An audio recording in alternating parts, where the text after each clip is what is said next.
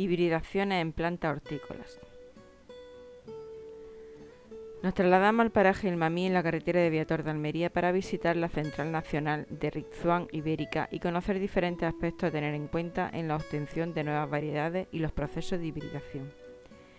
Rixuan se origina en 1924 y la central en la que nos situamos actualmente tiene una antigüedad de unos 25 años y consta de una superficie total de 9 hectáreas. Estuvimos observando la oficina de administración, de ventas, de comercialización, etc., así como el almacén de estocaje de semillas y tienen un edificio para investigación.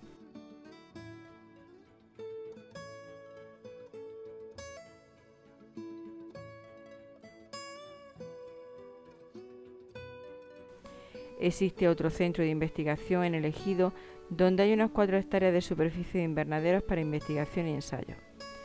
Poseen otro centro de investigación en Murcia destinado a ensayo e investigación de cultivo hortícola al aire libre y otro centro en Valencia.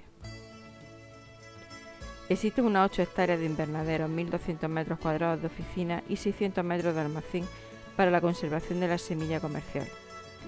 Pero un centro de investigación que se dedica a la obtención de nuevas variedades debe darle mucha importancia a las medidas sanitarias ejecutadas en los procesos de hibridación. Como hay mucha virosis que se transmiten por contacto, utilizan batas y otros medios preventivos.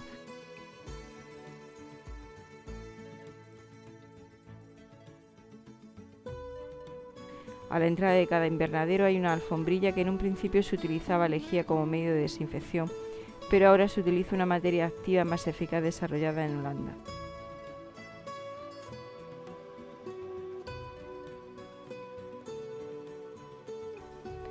Cada invernadero está aislado con una manta térmica alrededor para una mayor protección.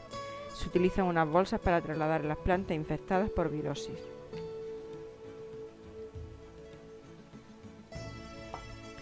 En un principio tienen que obtener parentales para la obtención de híbridos que después serán testados en el centro y posteriormente con agricultores de diferentes zonas para ver en qué zonas se adaptan mejor. Los distintos híbridos se separan mediante piquetas, cintas de plástico, etcétera, ya que en cada invernadero puede haber más de mil líneas de cultivo.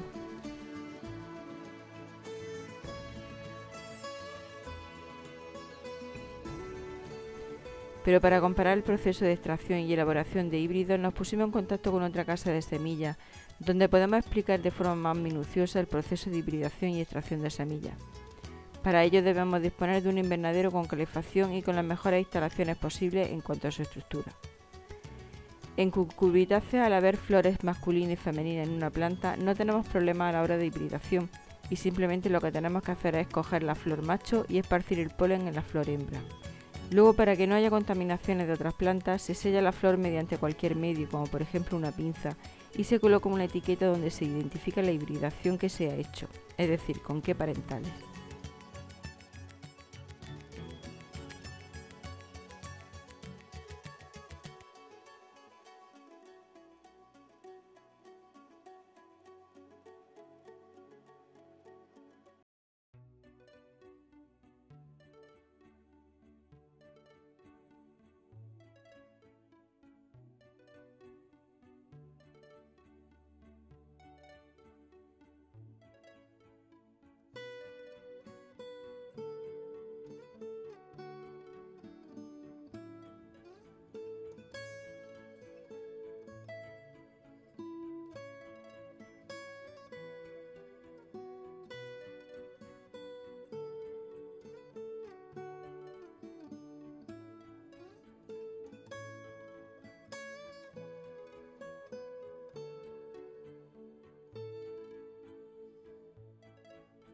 En Solanace el proceso es más complicado, ya que la parte masculina y femenina está en la misma flor, por lo que tenemos que coger una flor y castrarla, es decir, eliminar todos los estambres que van a actuar como receptora de polen, y coger el polen de otra variedad y aplicárselo a la anterior.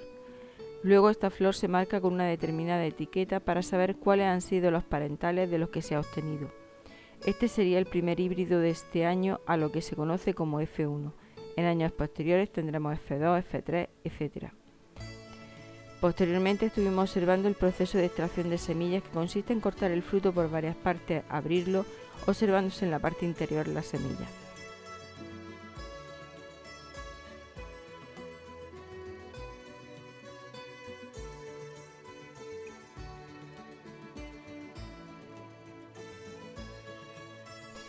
Posteriormente se vierten las semillas que llevarán parte de pulpa del fruto a una jarra de plástico. Seguidamente se deja fermentar para separar la pulpa del fruto de la semilla.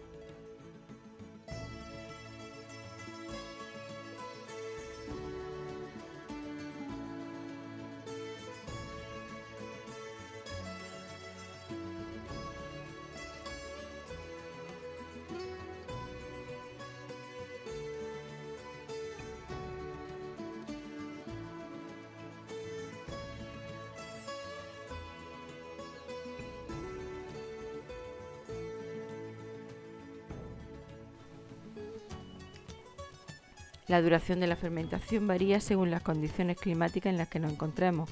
Se aconseja que se deje de 24 a 96 horas de 1 a 4 días. No se debe prolongar demasiado este periodo ya que la calidad de la semilla, tanto por ciento de germinación, tanto por ciento de emergencia y vigor, disminuye. Siempre se indica el código de la semilla en cada jarra.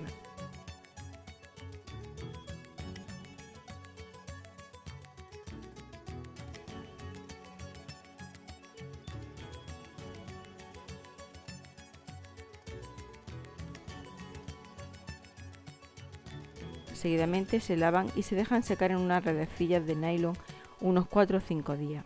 Es muy importante que las semillas que se estén secando lo hagan en lugares donde circule bien el aire, ya que corremos el riesgo de que la elevada humedad provoque que la semilla germine. Para esto podemos colocar las semillas en mallas que se cuelgan con una cierta ventilación.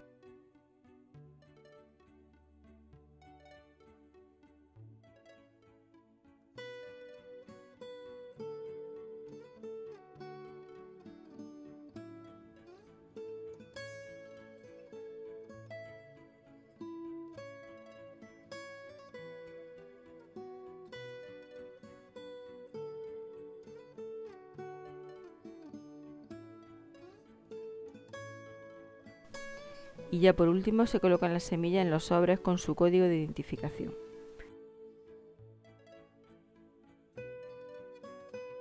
Pero en un centro de investigación como Rizwan se disponen de más medios y esto se realiza de forma más profesional, ya que si el proceso no se hiciese correctamente, la germinación de la semilla comercial bajaría un 50%. La obtención de las semillas de los distintos híbridos se hace primero cortando el fruto, colocamos la semilla en un vaso, se deja unas horas fermentar Limpiamos las semillas con una malla y se coloca un número que identifica la línea de investigación. Posteriormente se colocan las semillas en una cámara de secado con un flujo de aire constante y consiste en una serie de bandejas donde su base es de malla para que circule perfectamente el aire. Las condiciones de temperatura no, deben ser superiores a 30 grados. Para cada cultivo se elige el tiempo y temperatura de secado. En melón, por ejemplo, se establece una temperatura de unos 25 a 30 grados durante 24 horas.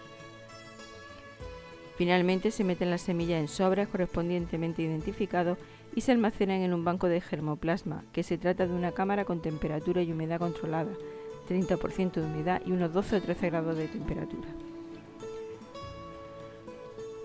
Un sobre de semillas posee una serie de datos como cantidad de simiente, especie, variedad, tratamiento químico, sobre todo un fungicida para que cuando la planta esté germinando esté protegida de patógenos, número de lote, normativa, etc. Pero para llegar a este producto final se deben hacer muchas líneas de investigación durante muchos años como estamos comprobando. La producción de las semillas se realiza en otros países mandándose los lotes a la central de Rizón, en la que estamos situados. Estos lotes deben seguir un orden exhaustivo y se deben conservar en una cámara de conservación con un minucioso control climático del ambiente así como del envasado. En esta cámara es donde almacenan todos los envases herméticos que no son ajenos a la temperatura, por lo que debe controlarse y tienen una temperatura constante de unos 16-17 grados. Disponen de diferentes automatismos para controlar el aire que hay dentro de la cámara. Asimismo, poseen diferentes estanterías donde están perfectamente identificados los diversos lotes de semillas por ordenador. De esta forma, cuando quieren localizar un lote de semillas, simplemente lo buscan a través del sistema informático. Existen otros tipos de semillas de otras especies que deben conservarse en otro tipo de envase, así como otras condiciones climáticas. En esta cámara hay 20 grados de temperatura y 60% de humedad, porque las semillas de por sí tienen un cierto grado de humedad como puede ser la judía. En este caso el envase sí es transpirable.